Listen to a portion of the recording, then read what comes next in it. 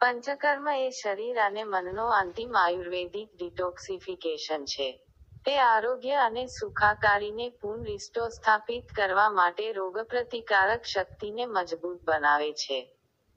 તે ઉપચારોનું એક સંયોજન છે જે આયુર્વેદિક બંધારણ પ્રકાર, પ્રકૃતિ અસંતુલન જો કોઈ હોય તો પાચક અગ્નિ, વય, રોગપ્રતિકારક સ્થિતિ, આરોગ્યની સ્થિતિ અને અન્ય ઘણા પરિબળો પર આધારિત છે.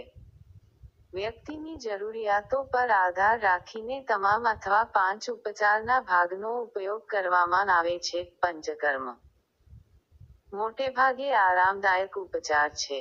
પરંતુ હિલિંગ કટોકટી" નામના ઝેરના શક્તિશાળી પ્રકાશનને કારણે ત્યાં અસ્વસ્થતા થઈ શકે છે. કોમો શંભલાની સલાહ સાથે માહિતગાર થાવ પંચકર્મ કાર્યક્રમની શરૂઆત વ્યક્તિના શરીર, મન બંધારણ, સ્વાસ્થ્યની સ્થિતિ અને ડિટોક્સિફિકેશનની તીવ્રતાની યોગ્ય ડિગ્રી નક્કી કરવા માટે યોગ્ય આયુર્વેદ ચિકિત્સક દ્વારા પ્રારંભિક પરામર્શથી થાય છે. પ્રારંભિક પરામર્શને આધારે, દિવસ માટે એક, બે કે તેથી વધુ ઉપચાર સૂચવવામાં આવે છે.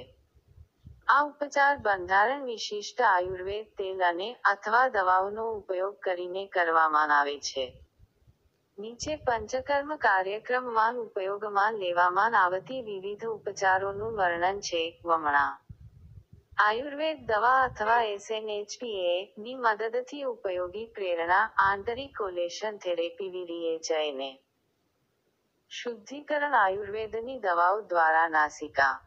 અનુનાસિક પોલાણમાં આયુર્વેદ દવાઓના વહીવટ દ્વારા ઉપલા શ્વસન માર્ગના ડિટોક્સિફિકેશન આ ઉપરાંત, પંચકર્મ પ્રોગ્રામમાં અલગ આયુર્વેદ